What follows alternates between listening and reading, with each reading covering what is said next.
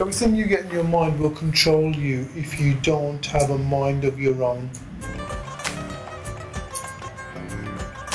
Which means, if he says to you he wants you out, and you haven't got a mind of your own, you'll throw him out. And if you throw him out, and he's classed as a vulnerable person, and gets run over, he's going to be in trouble? Would you agree with me? Yeah?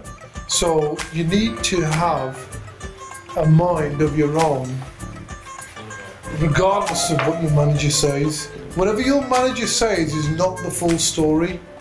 You, as a conflict manager, need to find out the full story. And you know what I said when you was out before you went out, which was, what did I say to you? I said deal with the situation accordingly and appropriately. Didn't I say that? Yeah. And there were some good things that came out which I liked, but I want your breakdown on this now. So what happened then? Forget what I've written on there. Tell me why you did what you did. What did you do and why did you do it?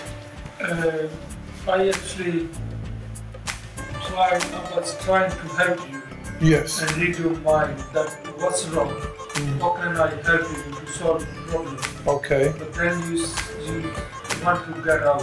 So I thought, okay, he's gone now. Come from my side. Mhm. He's not, he haven't got anybody. He was wandering in my venue. Mhm. And he's leaving now. So. Okay. All right. There's some good things that went on there. Sometimes we do things we don't realise we're doing them. So there were some good things that were going on there which I liked. Some of which, for example, you stepped away. Yeah. It's best for but at the same time, looking at things so that yeah, he don't cause a problem among those uh, people. Yeah, no, that's that's fine. That, that, that was great.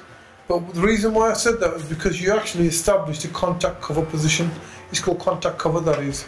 And we contact cover two people never do the talking. Never.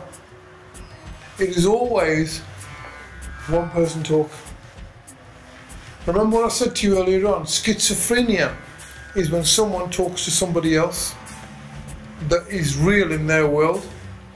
They can hear up to three to four different voices.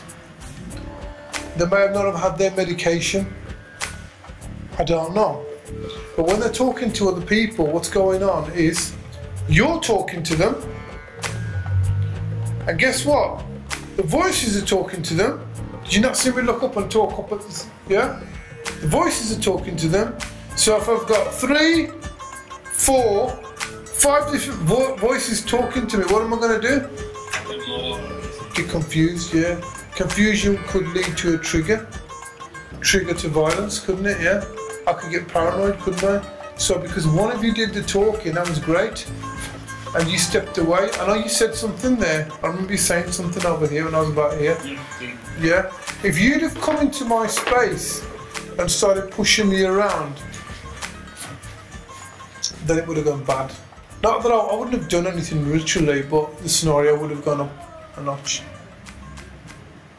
But you didn't. The other thing you did was you gave me a lot of spatial awareness, didn't you? You allowed me chance to move around. Fantastic. A lot of people don't do that. You gave me a chance to move. If you've got someone with mental health, let them move around. If you block them in or block the areas they're going to, then uh, you're going to cause a problem. The other thing I liked was your attitude. Position, attitude, look, listen, make space, and stance. You did it. You positioned yourself well. Your attitude was good. You didn't over push. Very kind. Appeared to be caring. And I may well have responded to that.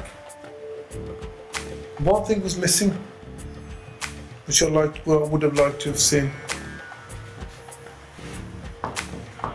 Intro. Doesn't matter. We're getting different.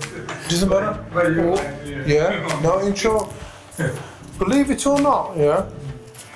Introduction is the way in.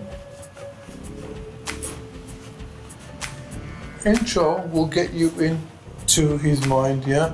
Although, although he might have mental health problems, yeah, he will listen to you if you get his name or if you introduce yourself. He may not know who you are, and what and why. I'm here to help you, sir. I want to help you. I have 100% wholehearted intention to help you. Your tonality was fantastic. Long silences are no good. If you leave someone and don't talk to them, it's bad because you're building up tension. So you don't, you didn't do that. You talked, you broke away, and you talked again. But if if if it, it's like when you start a conversation with someone who's got problems like this, you carry it on, which is good. You did that. You stepped away and you started again, and then you said, "This is a taxi for you." Yeah. Now, if someone's vulnerable, we don't want to really kick them out. If it means going back to my manager and saying, "Well, listen, this guy's vulnerable," and make sure he's okay. So that's what I want to do. Call the ambulance or call the relevant people. Remember Frank Bruno knocking on the doors in Liverpool? They arrested him. Mental Health Act.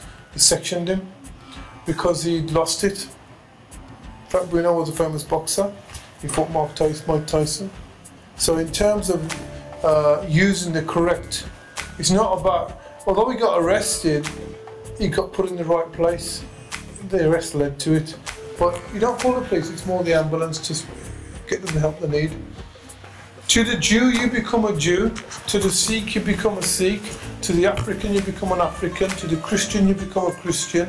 To the mental health patient, you become the what? Okay.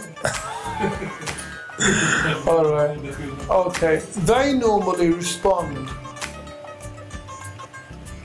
They normally respond to a social care worker.